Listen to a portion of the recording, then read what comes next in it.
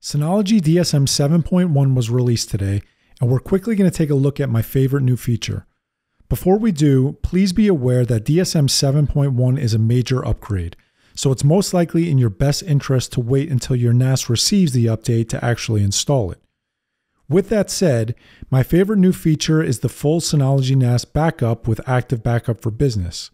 I'd like to test this out a little further, but it looks like this might replace Hyper Backup as far as full NAS backups go. With this enabled, it looks like you'll be able to fully back up your NAS and complete a bare metal restore if necessary. I'm sure Hyper Backup will still have its place, but this appears like it's a great option for users with multiple Synology NAS devices.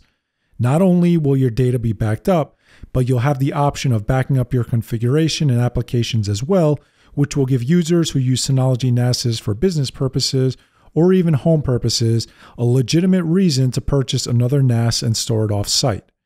There are tons of other features as well, but most of them are geared towards businesses. With that said, there are a few Synology Drive and Active Insight enhancements that home users might appreciate. I'll leave links in the description for the release notes and the Synology DSM 7.1 page where you can review some of the new features. Thanks for watching, and if you have any questions that you think I can help out with, please leave them in the comments.